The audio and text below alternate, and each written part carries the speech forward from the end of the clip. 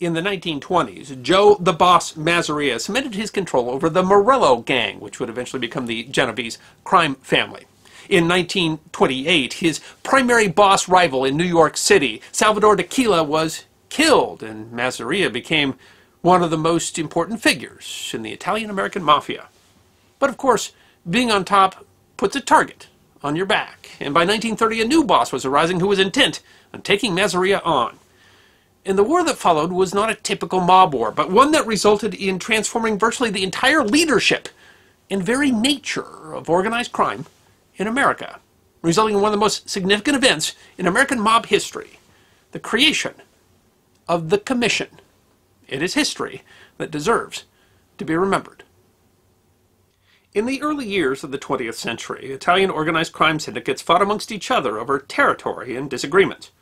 These groups were often defined by ethnicity. There were Irish and Jewish gangs, but among Italians there were gangs from Calabria, Naples, and of course, Sicily. Masseria was an old-school mafia captain, born in Sicily in 1886. He came to the U.S. when he was 16 and quickly joined the Morello gang, which was active in Harlem and Little Italy. He spent time in jail for burglary. By the end of the 1910s was in a struggle with Salvador D'Aquila for power in New York. In 1922, Masseria became head of the Morello gang and survived an assassination attempt where two bullets tore through his straw hat, but he was unharmed. He earned the reputation as the man who could dodge bullets.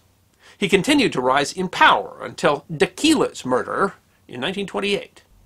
Masseria was named Capo dei Capi, or Boss of All Bosses, that year, and worked on centralizing all mob activity under his own influence. One anonymous detective said in the New York Times that Masseria was bigger than Al Capone. He pressured other gangs for monetary tribute and bullied other gangs to follow his wishes. In 1930, he forced Niccolo Schiro, who led his own crime family, to step down over a transgression. This fateful action would ultimately lead to Salvatore Maranzano taking over the Schiro crime family. Maranzano was born in Castellammare del Golfo in Sicily, where he became associated with Sicilian mafioso Don Vito Ferro. Ferro had been active in New York City crime for years and is usually considered to be responsible for the murder of Joseph Petrosino, head of the New York Police Department's Italian squad and the subject of another episode of The History Guy, though he was never convicted. By 1930, Don Vito hoped to take over American crime and sent Maranzano to accomplish the task. Unfortunately for the Don, he was arrested in 1930 and sentenced to life in prison by Benito Mussolini's fascist government, and the Don would never see freedom again. That left Maranzano free to do his work without any commands from Sicily. Maranzano established a legitimate real estate business while simultaneously building a bootlegging business under prohibition. He also became involved in prostitution and narcotic smuggling. After Schiro was ousted, Maranzano became the head of the family, and he headed out for the so-called boss of bosses, Joe Masseria. The war became known as the Castellammarese War, thanks to Maranzano's connection to Castellammare del Golfo. His faction became known as the Castellammare faction. The first shots were fired by Masseria. In February 1930, Masseria had Gaetano Reina, boss of the Reina family, killed because Reina had become supporting Maranzano, and Masseria was acting to protect several of his allies. In May, Gaspar Milazzo, a high-ranking member of the Detroit Mafia, was killed on Masseria's orders, allegedly because of Milazzo's failure to support him in a dispute with the Chicago outfit. On July 15th, another Schiro leader was shot outside his garage. Masseria was acting to stamp out what he saw as a challenge to his domination. Maranzano, now in charge and supported by Reina's gang, retaliated by killing Giuseppe Morello, original founder of the Morello gang and one of Masseria's top lieutenants. The Reina gang had controlled an ice distribution racket, which Masseria had seized, putting his own men in charge. The Reina members murdered that man on September 9th. Masseria traded another blow, killing a Castellammare ally in Chicago.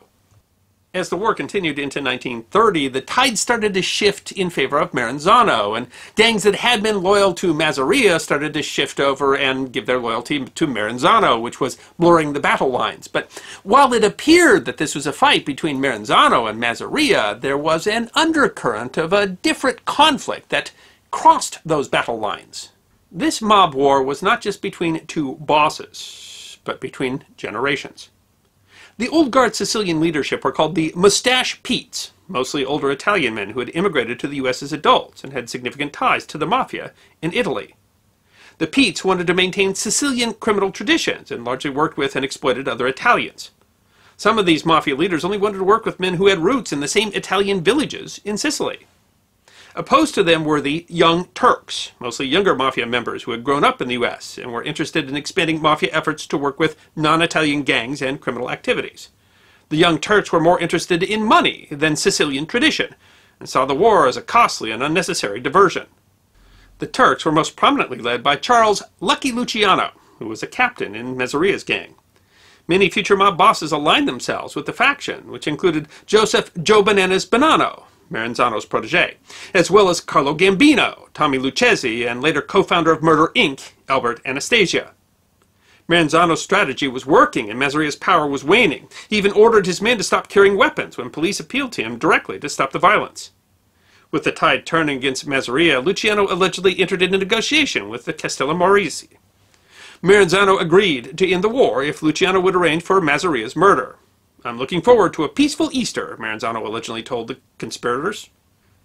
On April 15, 1931, Masseria, bodyguards, and possibly Luciano himself went to lunch at a Coney Island seafood restaurant run by Gerardo Scarpato.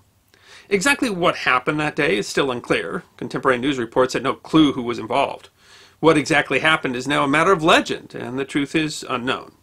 Scarpato was conspicuously absent on a walk, according to later questioning, and no restaurant workers were in the room.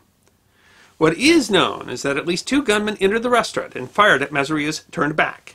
Twenty rounds were fired and at least five hit the man who could dodge bullets, including one in the head.